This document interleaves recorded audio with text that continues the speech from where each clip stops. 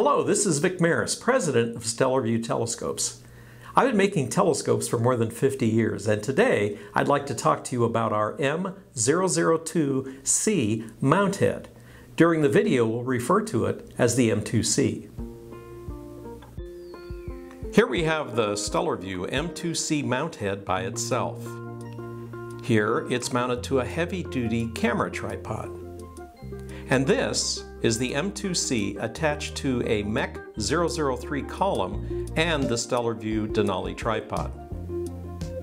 The component parts of the M2C, the column, and the Denali tripod are all made right here in Auburn, California.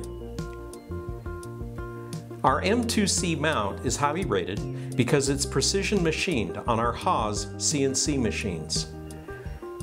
The M2C has oversized Teflon and stainless roller bearings, and it's designed to glide effortlessly and intuitively from object to object in the night sky.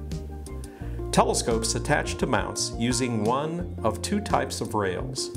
These rails attach to the telescope's mounting rings, and these rails, which have a dovetail shape, slide into the shoe on the mount. There are two types of rails, the thinner V-rail and the wider D-rail. Our M2C mount uses our combination shoe that will hold either of these rails. Let's now see how to attach the telescope to the M2C mount and how to adjust it for optimal performance. Before inserting the telescope rail, position it horizontally. Make sure both the altitude and azimuth knobs are relatively tight. Loosen the black shoe knobs just enough to accommodate the width of the rail. Slide the rail into the opening and then tighten both shoe knobs with equal pressure. Make sure it's tight. The next step is to balance your telescope.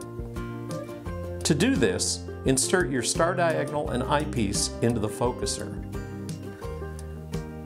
Loosen the altitude adjustment knob on the side of the mount so the telescope can move up and down easily.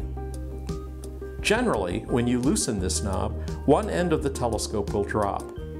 The end that drops needs to slide toward the shoe in order to balance the telescope in the mount. Here we have the eyepiece end, or the back of the telescope, moving down when we loosen the altitude knob. This means the back of the telescope needs to slide toward the center. To accomplish this, loosen both of the screws on the shoe slightly, no more than half a turn. If you loosen these knobs too much, the telescope could fall out of the mount, so please do not do this. Slide the telescope forward a little until it is balanced, and then tighten these two knobs on the shoe with equal pressure. Do not leave these knobs loose or the telescope can fall from the mount and get damaged. Now that your telescope is balanced and ready to use, adjust the tension on the altitude and azimuth knobs. These large knobs adjust tension and allow the telescope to move when it is pushed and stop when you stop applying pressure. If these knobs are too tight, it will be impossible to move it smoothly. Tighten these two knobs only enough to keep the telescope stationary when no pressure is applied, but light enough that you can easily and effortlessly move the telescope when needed. Both knobs should be adjusted so that it is as easy to move the telescope in altitude as it is in azimuth. So now you're set up and ready to start viewing the night sky visually through the best Stellarvue has to offer.